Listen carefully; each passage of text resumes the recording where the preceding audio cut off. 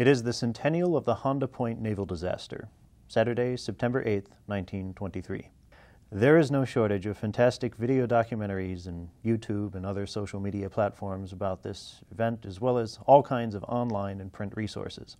In deference to those sources, we won't try to tell this story all over again. Suffice it to say that seven Clemson-class destroyers of Destroyer Squadron 11, the Delphy, S.P. Lee, Young, Woodbury, Nicholas, Fuller, and the Chauncey ran aground off the California coast while maneuvering at high speed in a dense fog, navigating by dead reckoning. This constitutes the single largest loss of ships in peacetime in the history of the U.S. Navy. 23 sailors perished. Among the survivors was one Robert Ferguson, born and raised right here in Waterloo, a crew member of the SP Lee. Just eight days after the disaster, he sat down to write his mother a letter, an 18-page letter, detailing his experience. It is an abridged version of this letter that we will read right now. Written so soon after the disaster, it captures the drama, emotion, and heroism of the moment in a real, tangible sense. While you're listening, bear in mind the astonishing fact that Mr. Ferguson never learned to swim. The original letter resides in the Veterans Memorial Museum in Chehalis, Washington. Thanks to them for allowing us to record this video.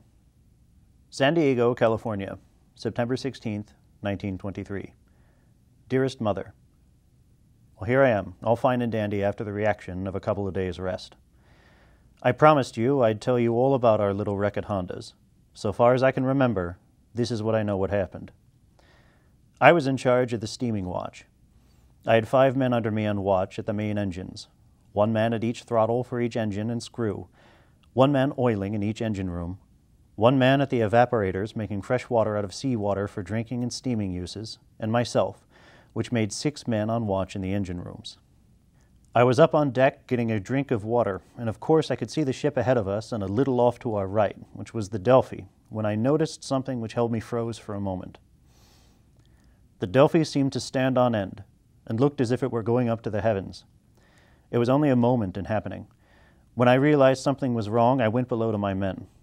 I had reached the last four steps of the ladder when I was flung violently off my feet in a corner some few feet away. When I got to my feet, I heard a grating sound underneath and then a crash. All was excited for a moment. When we realized what had happened, we went about our tasks as cool as if nothing had happened at all, but knowing we would be ordered out of there very soon. We had orders then to try backing, as we were going 20 knots at the time we struck. It took a short while to respond to the backing call. At that moment, things began to happen. The fire room, where the boilers are, called us and said their fuel oil tank had carried away. That meant the 7,000 gallon tank was bursted and oil running out, so we had to secure the fire to keep from having an explosion. We then tried to light off the other two boilers, and the oil tank there had bursted also. Then we laid heavily on our left side when an angry sea tossed us up. We settled heavily when a crash came in the forward engine room where I was. Looking around, I saw a huge rock sticking through the bottom of our ship. That rock looked like Gibraltar at that moment. Water began rushing in. I notified the bridge a rock had penetrated our hull and water was rushing in fast. By that time, it was to our knees. Waiting for word to abandon the engine room, we waited only a few minutes, but it seemed like hours. Water was to our chests when the word came. How much water is there in engine rooms? I told them and got orders to come to the topside, up on deck. I called the fire room, but no response came from them. I called frantically, but still no answer. Water was then almost up to my neck when I decided they were all out of the fire room, so then I came up the best way I could. I climbed over hot steam lines. The other men were up by then. Coming to the topside, I found that we were on some rocks about 30 feet from a larger rock, which would hold all of our men if we could get on it. We launched our life raft, and three other men and myself jumped in upon orders of our engineer officer. We had no oars or paddles, so we found a piece of timber floating by and got it and tried to reach the rock. The sea was running heavy. Men had to hold on to lifelines for their lives. If they let loose of the lines, the sea would have carried them away. After about 35 minutes of being washed against the rock and back to the ship, we secured a hold of the rock and jumped and hung on. The sea was coming over the ship, completely drenching all to the bone. We clambered up to a place where we could tie a rope to a snag of rock and told those on the ship to haul the raft back. and we would pull them over where we were. The order then came to abandon ship. We had all men off in a short time. When there were about 20 men over, I started to climb. I did not know where. I kept on going. The rock was a sheer, bare stone. Hardly no place to get a finger hold and dark and foggy. It was then about 10 o'clock. I had to be very careful in climbing for fear I would upset some rocks on the men below me. I arrived at the top all right and heard a train whistle. A lusty cheer went up from dozens of places around where we were, so we found out two things. First, more ships were on the rocks, and second, we were on the mainland. I half ran and stumbled to a light I saw. After a while, two men met me with lanterns. I took them and sent them for more, and then went back calling for the S.P. Lee gang. I got an answer, and waited till all the men were up on high land, then went to where I heard men crying for help. I found a bunch of men from the Delphy, and they said a man was out of his head and could not be handled, so they tied him to a place to try and save his life as he wanted to jump into the sea. They asked where they were and where our men were. I told them, and told them the man I met with the lantern said there was a house about ten minutes' walk away. I then went to where I saw another ship. Then I saw the saddest sight in my life. A sister ship, with men of whom I had known for years, had turned over on its side. I saw another ship then, further inland. That made four ships I know were wrecked S.P. Lee, Delphy, Young, and the fourth, Chauncey. Stumbling down to where I could get as close as possible, I asked if they were all on board. They mistook me for an officer, for they answered, They were all on board and was helping the men of the Young aboard of her, the Chauncey, sir. Then they asked if they could land with life rafts, and I told them yes, and held the light to where I thought was the best place to land. A life raft came to where I was in the water. We tied a line to the rocks and sent the raft back. Then I showed the men how to get up the rocks to where I was told the house was. We then saw a huge fire that way, and knew our men had a fire to keep warm, and knew where to head for.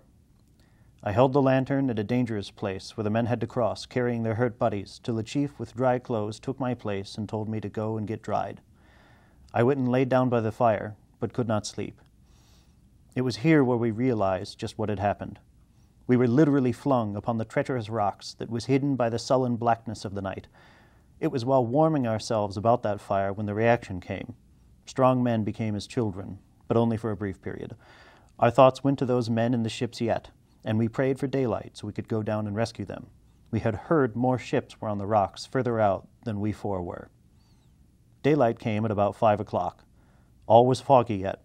While awaiting daylight, I was able to send you a telegram by courtesy of a man who put up a line there at the place we found out was called Honda's, halfway between San Luis Obispo and Santa Barbara.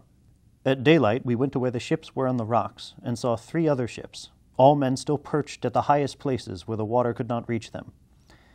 We went out to our ship by the life raft and succeeded in getting a line to the Nicholas to the shore, where the men of the SP Lee pulled them to the land, raft after raft load full. The last raft load capsized and broke loose but the men were in shallow water and got safely to the land. Other men of other ships helped out the Woodbury and Fuller, who were further out and who had stayed all night on a large rock to the mainland. Then we tried to salvage what we could, but everything was full of water, so we lost everything we owned except what we picked up laying around. Some men had only underwear on and climbed on rocks barefooted. I had on overalls which were soaked with oil, and it was oil from head to foot, and my hair is still full of it. The special train came Sunday evening at 5 o'clock. At Santa Barbara, we were met with a huge crowd who gave us sandwiches and coffee and smokes, the first since Saturday night. Three lusty cheers went to them. When we left at Los Angeles, no one was at the depot at San Diego Monday morning at 5 o'clock when we arrived.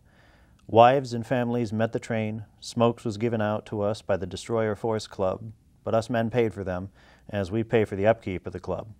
San Diego did not do a thing for us, her boys who call San Diego home. The men were in the most pitiable condition. Strange the garments we wore, and even stranger the looks upon our faces. When a whistle blew, hundreds woke from a short sleep with a wild, starry look and expected to jump for their lives. Weary, cold, and wet, we came to the base where we were given a wiener sandwich and coffee. No milk or sugar, a wonderful reception when they had all day and night Sunday to prepare a meal for us. A few hours later, we were given beans, prunes, and coffee and bread. Then they told us to go to work, which we did not do. Now we work and smile. We have one suit of clothes, but that we will have to pay for. So, We just have to take the rubbing in and smile and show to the generations of servicemen to come how those who go down to the sea in ships can meet with disaster and still live on to be and smile and show them what we are and what we all want is to be real men. It was a terrible shock. I could not sleep till Tuesday night. Then I slept as in a coma. Now I'm all right, nervous yet, but all okay. The experience is worth lots to me, but I never want another such experience. We do not know when we get our clothes. I have lost around $400 of Navy and civilian clothes, suitcases, and other articles. We may be reimbursed and may not. It's all the game.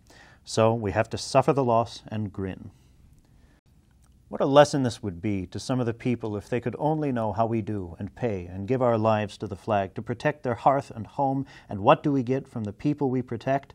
A slur and slam and insults about the sailor is no good. Let them think so. I went through hell and saw heroes. Every sailor in that wreck was a hero and did heroic deeds to help save his buddies, and think no more of it as if it were a common everyday occurrence. So, mother, do not worry now. All is well. I'm alive and well and thankful. Love and kisses to all. Your loving son, Bob.